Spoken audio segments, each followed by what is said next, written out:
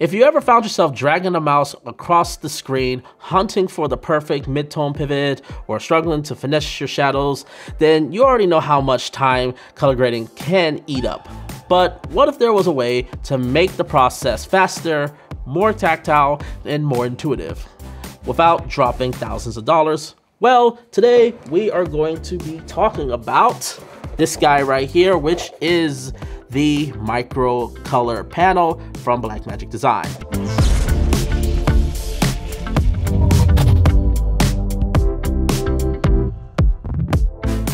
What's good everybody? James Jackson here, back again with another video. If you're new here, I do tips, tricks, news, and reviews for the film and video making industry.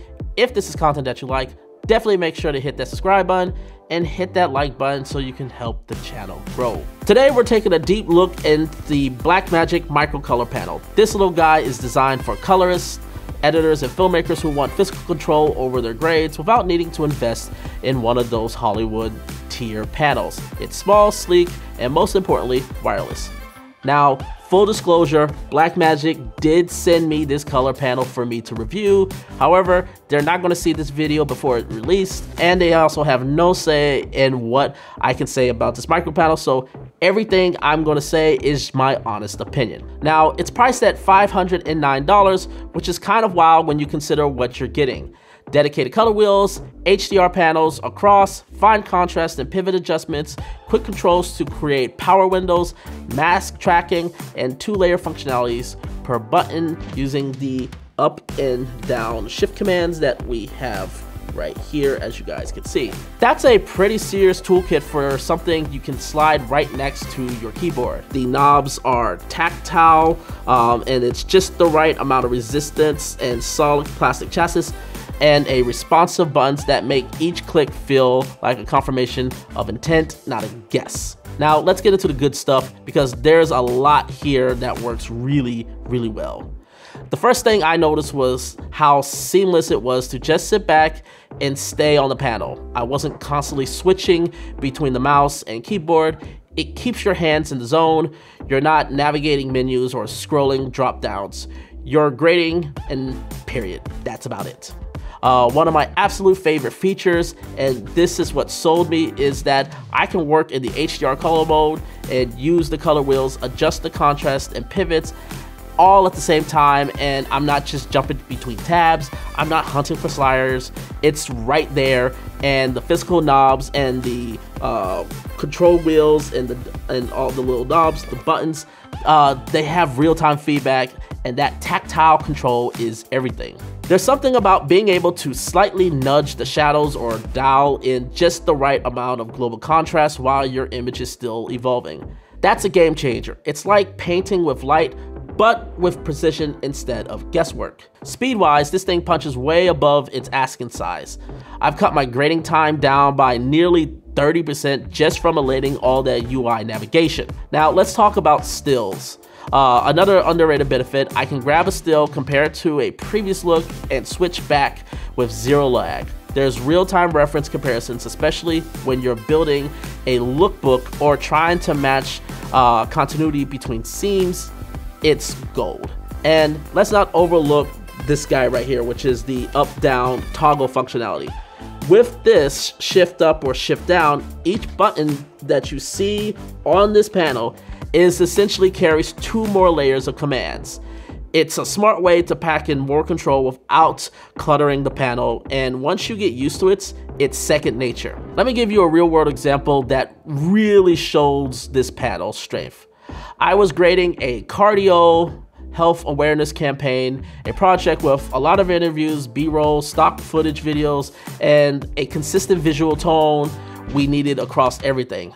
The campaign had a feel of a clean, clear, and professional, so we needed a consistent look that worked across dozens of different lighting setups and camera sources. With the micro panel, I built out a complete node tree in minutes with primary corrections, uh, soft contrast, node, a subtle color boost, uh, skin tone isolations, and vignettes with uh, tracking power windows for a face highlight pass. And I wasn't jumping back and forth to the mouse.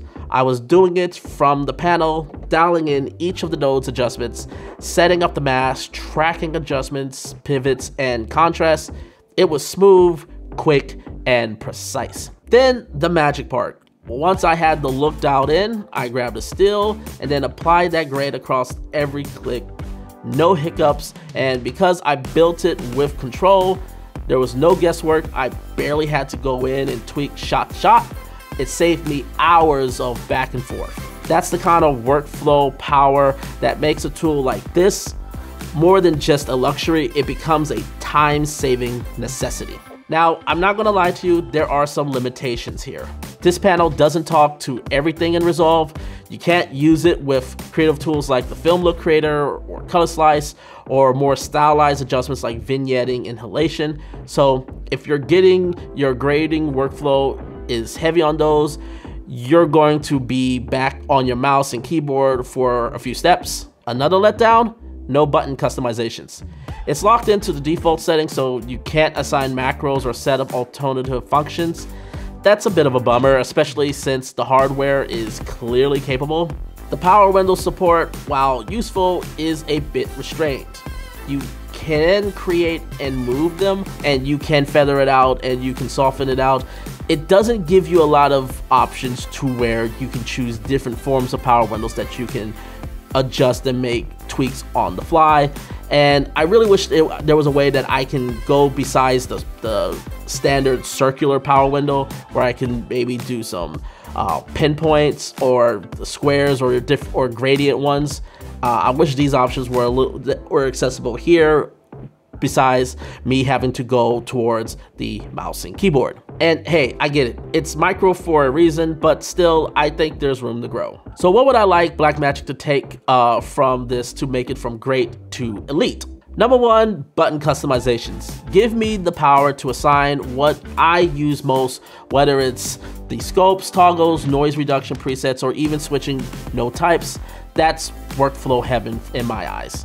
Uh, number two, effect integrations. I love to see support added for something like Color Slice, the Film Look creators, and and at the very least the ability to map nodes that apply those effects uh, from one tap to another. Even expanding the track and mask tools just a little bit, like adding uh, various forms of masking that I can use, would be a massive win. Basically, give users the options to expand as their workflow evolves. Here's the bottom line. The Blackmagic Micro Color Panel is a fantastic tool for its price. It's fast, it's well built, intuitive, and it removes a ton of the friction from grading process. At $509, it's probably one of the most affordable ways to get a true tactile grading control, and it brings some of that Hollywood magic into your home or studio setup. Is it perfect? No. Is it for every kind of colorist? Also, no.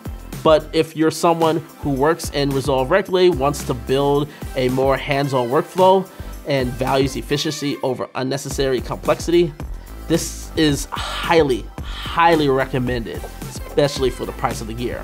I'll leave an affiliate link in the description below if you're interested in checking it out.